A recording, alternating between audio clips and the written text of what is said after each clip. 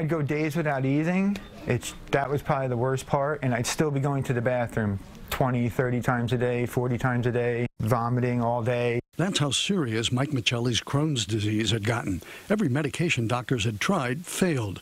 That's when he volunteered for a stem cell transplant clinical trial. I was at the end of my rope. I had no choice. The idea that a stem cell transplant could help came when some patients with two diseases got a transplant. And some patients who had these cancers who also happened to have Crohn's disease, when we gave them these transplants, not only did their cancer get better, but their Crohn's sure as heck got a lot better. Dr. Louis Cohen, a gastroenterologist at Mount Sinai, is leading the clinical trial.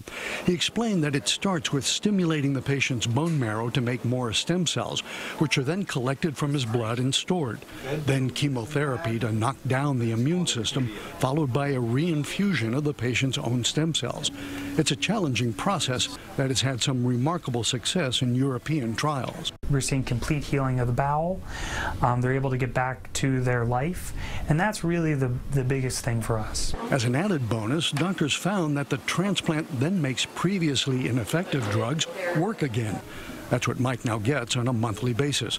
He knows doctors can't call this a cure yet, but he says the improvement is all worth it. I've continued to just feel pretty good, you know. I, I have bad days, you know, I, I got to admit that, but I can go out and do things without worrying a lot. Now, it's not clear how long the remission and improvement will last. That will take long-term follow-up on these patients. And a transplant is not for the faint of heart. That's why, for now, it's just being offered to patients who've exhausted all other options and are on the verge of what doctors call bowel failure. But for those patients, this is exciting new hope. Yeah.